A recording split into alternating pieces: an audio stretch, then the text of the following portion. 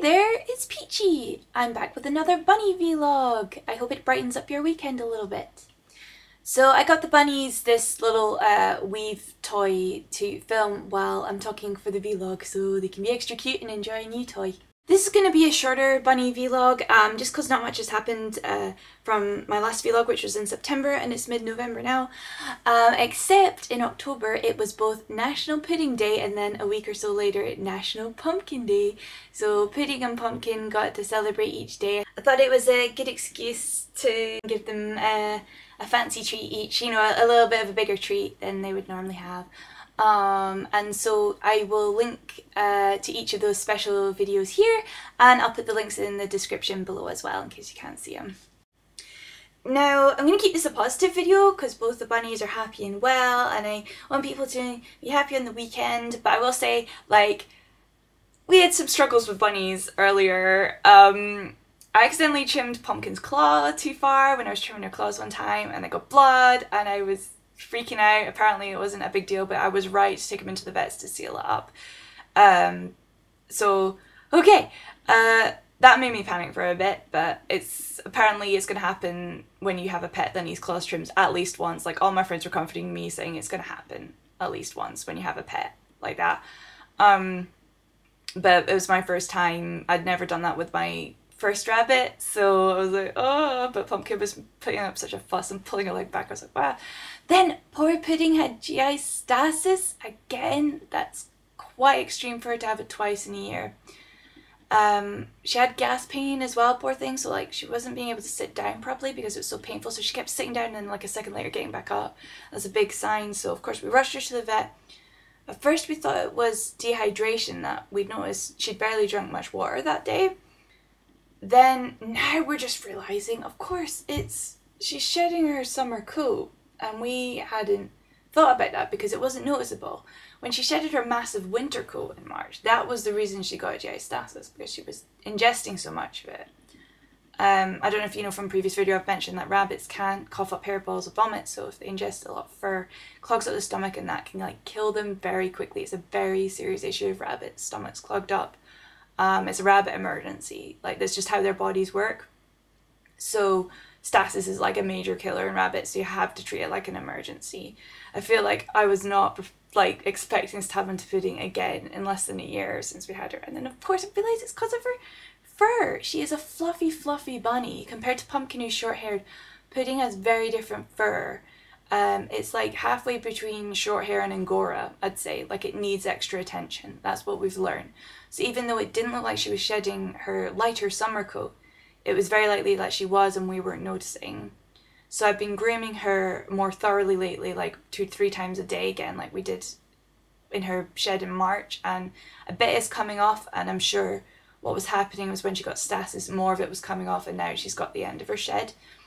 Um, so yeah, learning experience. Pudding is a fluffy bunny and needs to be treated with caution um, because she's fragile and so skeptical to getting this. So, you know, fluffy bunnies are more at risk of developing stasis and complications from ingesting the fur because she preens herself. She's a girly, girly bunny. She preens herself way more than Pumpkin. And can you imagine if Bunny preening herself constantly with that much fluff? That's what's gonna happen. but yeah, Positive note, she's fine, she recovered very quickly, she was given the usual ranitidine which had to be orally syringed into her mouth, couldn't be mixed in food, she had to be given it through syringe hated that, growled and thumped, but she would always lick me and binky and dance and follow me around as usual. So she was so forgiving. It was so sweet. I couldn't believe how forgiving she was for like a week and a half where she had to be given ranitidine. Um, she didn't have to be on painkillers for too long. Her gas pain went away within about two days, which was good. But oh my goodness, please, if you have rabbits, please, you need pet insurance. This stuff always happens out of hours and out of hours cost to take them to emergency vets is crazy high. Um, pet insurance will cover this for you. Like you still have to pay a wee chunk of the cost, but my goodness, nothing compared to what it would have been. Um, if you didn't have pet insurance, so please, it's absolute must rabbits. Pretty much any health condition with a rabbit is an emergency because they're so fragile. And once they're in pain or sick, they don't eat as much or they refuse to eat, and that's when their stomach stops working, and that's where the stasis begins. So yeah, rarely is a rabbit health condition something you can leave to the next day. You just take them immediately, and you're saving yourself extra stress along the way.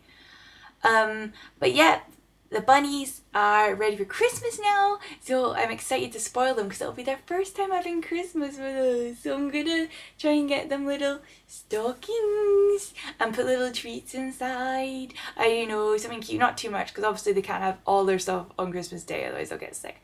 But it'd be fun to spoil them and it's our first christmas together as a couple in our own place me and my partner so it'd be nice to just have us as a little weird fluffy family um, so i'm looking forward to that um, i don't think we'll get a real christmas tree because pretty sure the, needles would just be asking for trouble with the buns and it'll be messy anyway so as much as we'd like a real christmas tree uh, safety of the buns comes first and cleanliness of the carpet potentially second.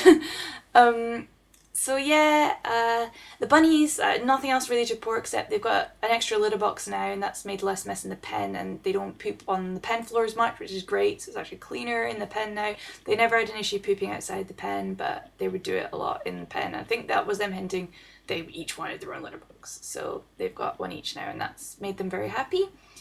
Um, so yeah, that's all I really have to say about the bunnies this time. Um, sorry I had to say that like Pudding had another issue of stasis, but again, it's a learning experience. There's such a difference between, um, you know, the 12 years from when I had my first rabbit that you can only learn so much from reading about rabbit care. It, the next learning experience is having the rabbits, and you learn through them.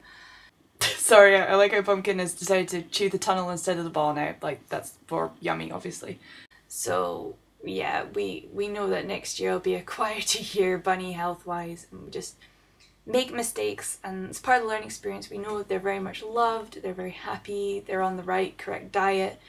Um, so you know we're doing the best we can, but we've had flaws and moments where we could have done something a bit better, and we're not pros, but hopefully in a few years' time we will be pros. So yeah, until next time, guys, uh, the bunnies and I will see you later. Bye bye. Pumpkin, what are you doing? Now for a bonus silly bunny montage!